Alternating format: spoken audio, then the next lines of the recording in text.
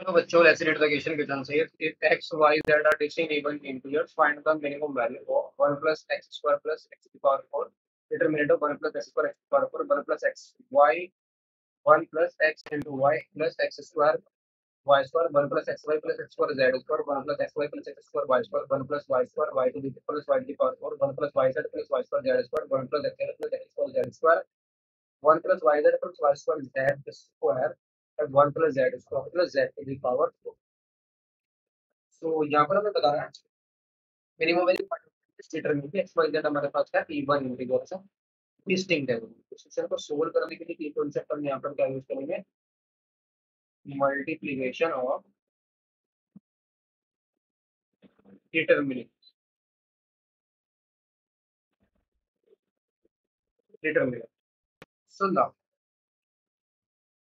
Question के अंदर determinant given है टेस्ट को करेंगे डेल्टा नेट करेंगे delta is equal to 1 plus x square plus x to the power 4 1 plus x square plus x to the power 4 1 plus xy plus x square y square 1 plus xy plus x square z square 1 plus xy plus x square y square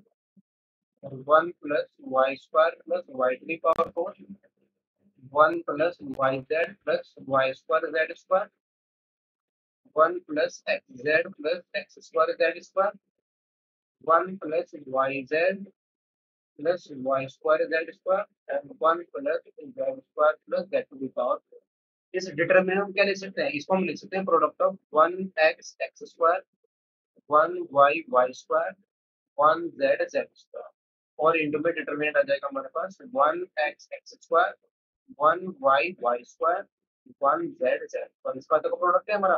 because हमारा first element क्या आएगा? One plus x square plus power four first rule का second entry हमारे पास।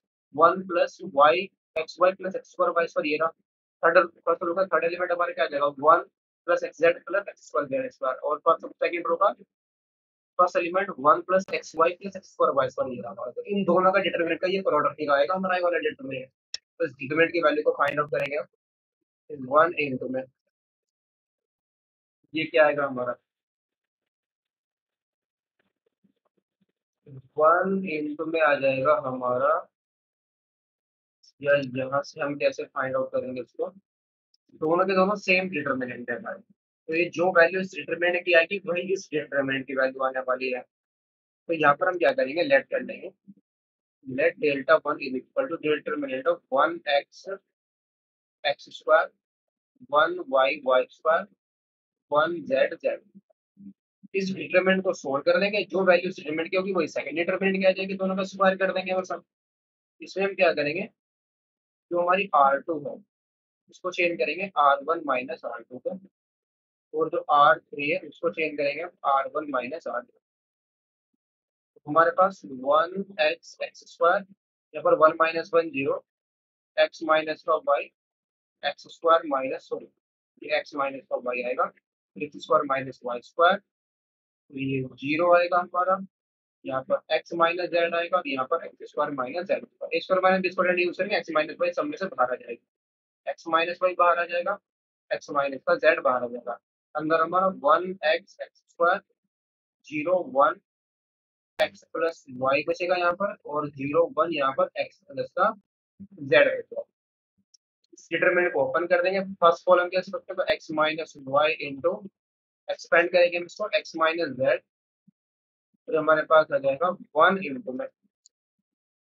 X plus z minus का x और minus का y x x cancel out हो गया हमारा। X minus y into x minus z into z minus y यहाँ दोनों में से माइनस को कॉमन ले लेंगे तो एक्स माइनस वाई इसको ले सकते वाई माइनस जेड और ये आ जाएगा हमारा जेड माइनस ये हमारा डेल्टा बनाया तो जो सिंपल है डेल्टा की वैल्यू क्या आ जाएगी, हमारा दोनों का स्क्वायर हो जाएगा। एक्स माइनस वाई का whole square because second determinant तो सेम ही है। वाई माइनस जेड का स्क्वायर और इंटू में जेड माइनस एक्स का स्क्वायर तो ये वैल्यू हमेशा क्या रहने वाली ग्रेटर देन ज़ीरो रहने वाली है। Because since x and y x y z are distinct distinct integers.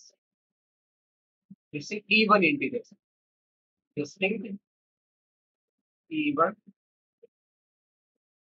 integers ये हमारे डिस्टिंक्ट इवन इंटीजर्स तो इसकी में मिनिमम वैल्यू तो चाहिए। तो डिस्टिंक्ट इवन इंटीजर और ये पर अगर ये डिस्टिंक्ट इवन इंटीजर तो ये रहेगा ग्रेटर देन ज़ीरो रहेगा, ये भी हमेशा ग्रेटर देन ज़ीरो रहेगा, ये भी हमेशा ग्रेटर देन ज़ीरो रहने वाला है। ठीक है तो स्क्वायर है हमारे पास तो हमेशा ग्रेटर पॉजिटिव रहेगा।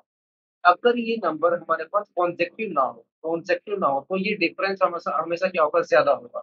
स्क्वायर करेंगे तो और ज़्यादा हमें वैल्यू मिल जाएगी। तो delta is minimum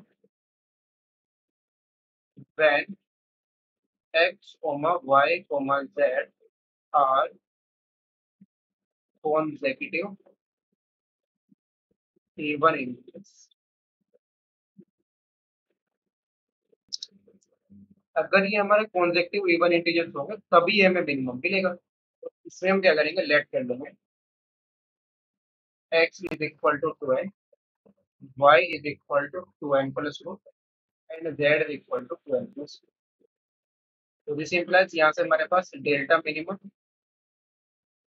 x minus का y है ना पहला हमारा, x माइनस का y x में से y को सब्ट्रैक्ट करेंगे तो 2n से 2n कैंसिल आउट माइनस 2 का स्क्वायर फिर y माइनस का z 2n से 2n कैंसिल आउट तो ये आ जाएगा माइनस 2 का स्क्वायर आ जाएगा x में 2n से 2n कैंसिल आउट तो z माइनस x है हमारा?